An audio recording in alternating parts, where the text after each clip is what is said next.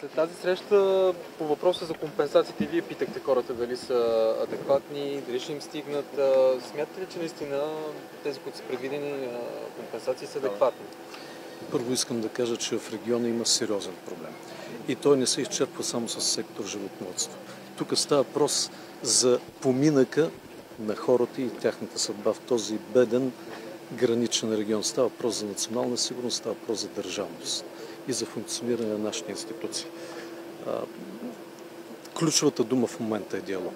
Аз искам да призова правителството за диалог и с протестиращите и за много по-интензивен диалог тук с хората на място. Когато се взема всяко едно решение и особено за начина по който това решение се изпълнява. точно унищожаването, начинът на унищожаването на животните тук унищожава крехкото доверие на тези хора в българските институции. И затова трябва да има диалог. Тази празнина, която се получи между хората тук и властта, не може да се запълни само с финансови компенсации. Трябва дълготрайна, устойчива политика на държавата за възстановяване на поминъка на тези хора.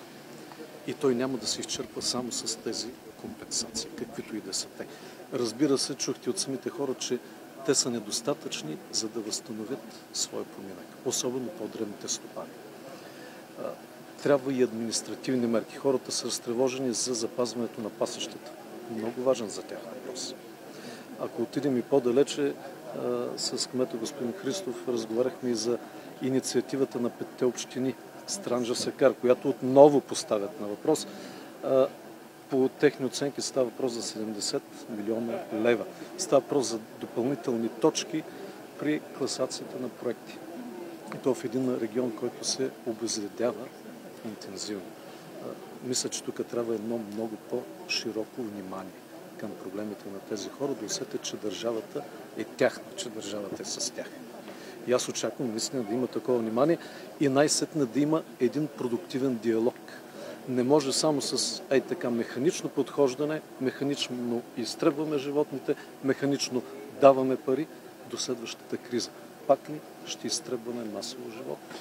Според вас ситуацията тук достатъчно ли е да, бъде, да, да свикате национал... консултативния съвет по национална сигурност? Първо, едно е ясно. Има заболяване, няма да спекулирам какво е то. Това е работа на експертите. И всички последствия от това заболяване трябва да бъдат ограничени по възможно най-бързият и ефективен начин. Има още дейности, които трябва да се извършат. Нека видим първо как ще бъдат извършени тези дейности. Много важно е за мене какви дългосрочни стъпки и действия ще се предприемат за възстановяване и стабилизиране на поминък. Тогава мога да ви. Какво още може да направите за пострадалите хора вие? Всички пъти обещават понеже по нещо. На мен ми е най-трудно да обещавам, понеже не разполагам с бюджет. И не разполагам с механизми, така че да променям наредби и закони. Но трябва да има един всеобхватен подход към този регион и аз за това призовавам. Само финансови компенсации няма да решат проблема.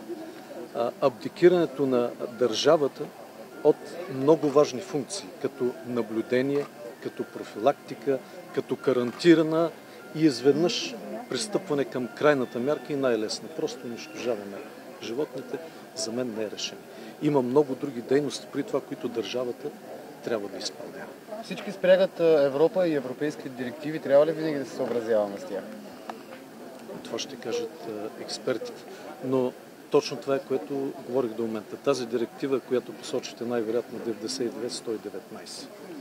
Тя много ясно казва какви са етапите, какви са стъпките. Ние отиваме изведнъж на най-крайната брутална мярка. Поголовно изтребване.